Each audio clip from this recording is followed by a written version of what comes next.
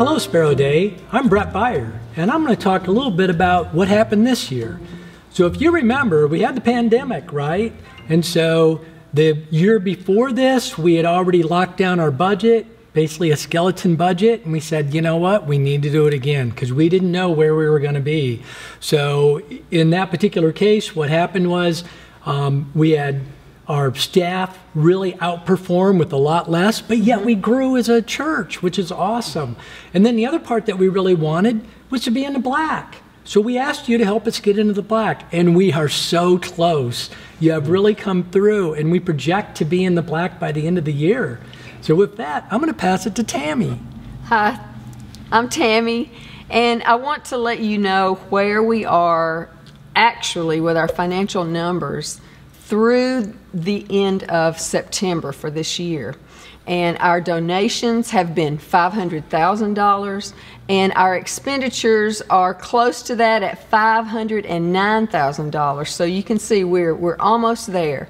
We also have $100,000 cash in the bank, and this is a very, very healthy position for us to be in, and very different than when we've we've ever been in before.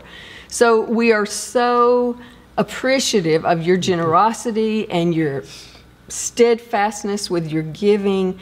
And we have a year end gift coming up on Christmas Eve at our Christmas Eve service. And that will be to continue to help us continue to be in the black, but also maintain this healthy position going forward. And Paul, why don't you tell us about 2023? Thanks, Tammy. Yeah, 2023, it's going to be a year of two goals.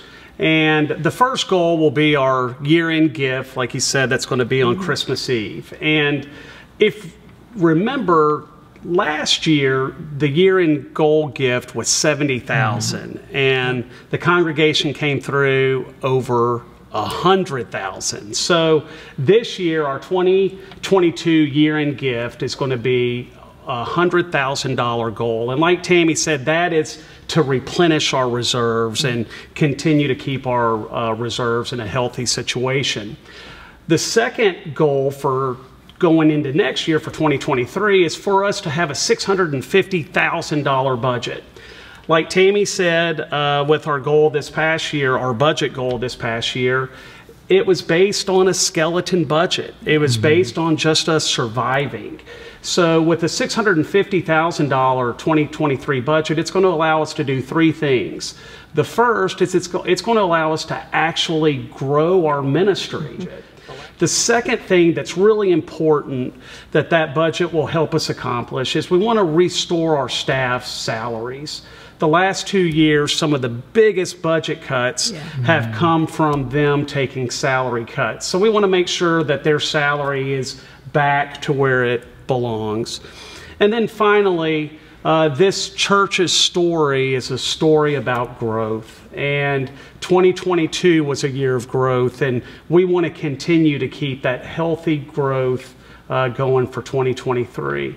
So, as it comes to this giving and our year end gift and our new budget, uh, we encourage you to use the uh, recurring giving tool uh, at www.sperodei.com you guys, it is such an honor to mm. be a part of this church, and they step up and come through year after year after year, and uh, there's no doubt that we'll do it again this year.